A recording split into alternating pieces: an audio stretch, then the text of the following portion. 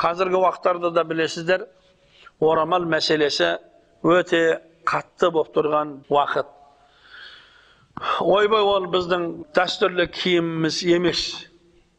Сұрақ беретін болсаң аузына құм толады. Сонда дәстүрмен кім жүр сен жүрсің ба? Я апаң жүр ма? Я атаң жүр ма дәстүрмен? Қайсы әжең шашын қырыққан еді? Қазіргі алпыстағы апаңды алып кел. Жүз апаңды алып кел. Жүзін алып келгін соның тоқсан тоғызы шашын қырқып алған.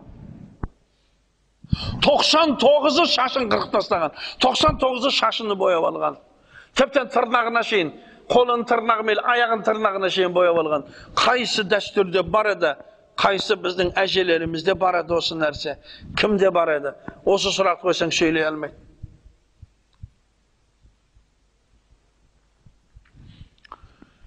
бұл хижаб хижаб дейіледі арабтарда хижаб дейіледі қазақтарда орамал кимешек дейіледі парыстарда паранчи дейіледі бұл мұсылмандар мұсылман әйелдерінің бұл киімі бұл мұсылман әйелінің киімі мұсылман еместерге қызығы жоқ бұл нәрсе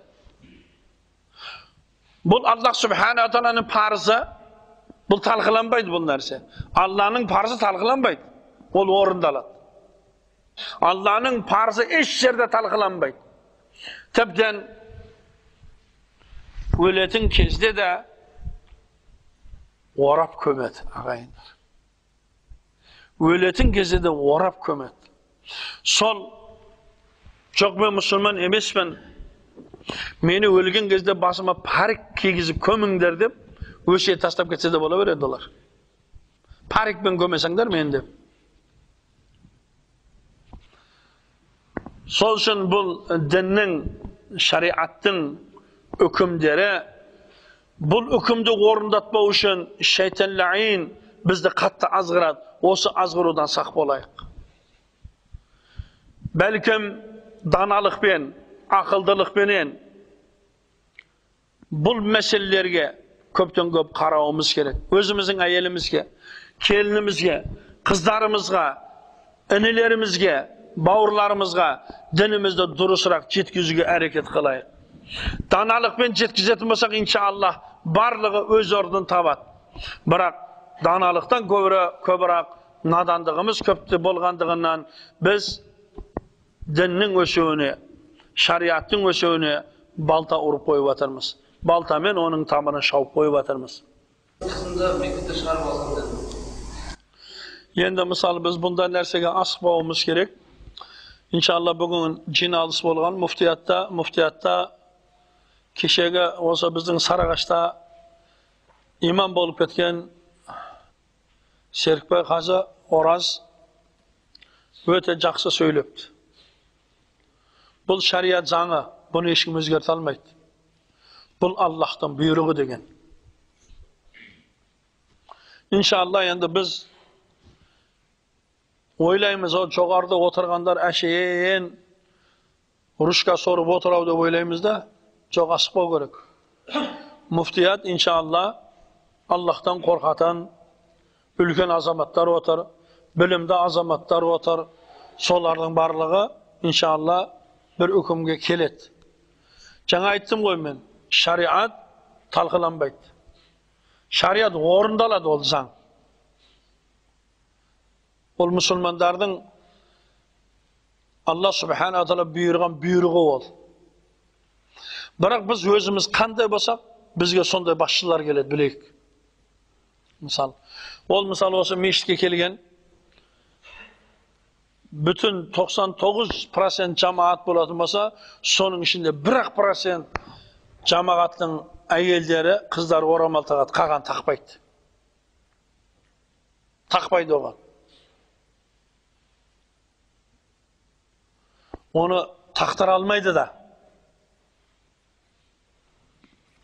сол үшін даналықпен хикметпен айтып біздің мысалы қазір өзіміз әйелдеріміз әрқайсымыз әйелімізді қызымызды тәрбиелей баратын болсақ олар иншалла өстіп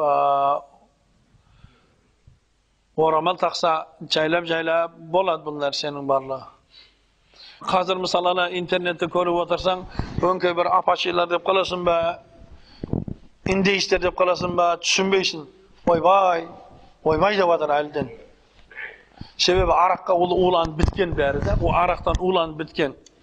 Acep diyor karayaların çıkıp galım degen bol bizden Kazak'tan kim emes. Kimnin giyimi? Sen kayaktan payda boğazın öz. Kimnin giyimi ol? Inşallah bizge kanday patvalar beret. İnşallah biz olsa muftiyatta qoldaymiz.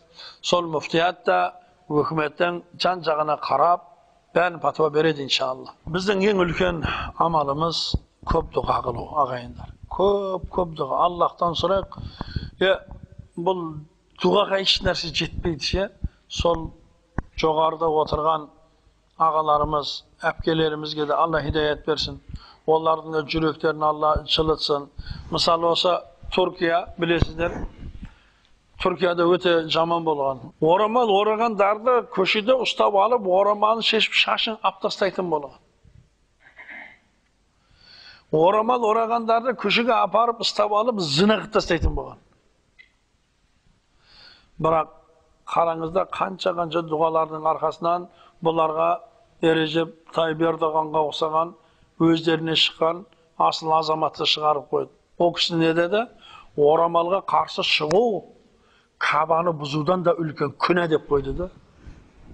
Kaba'nı buzkuş. Ha? Kaba'nı, Kabatullah'ını, Allah'ın Kaba'sının buzu menen teң dep koyganda. Mene hazır misalı kimdeki moramalı karşılan tiki menin özüme çıksın dep otur da o kişi.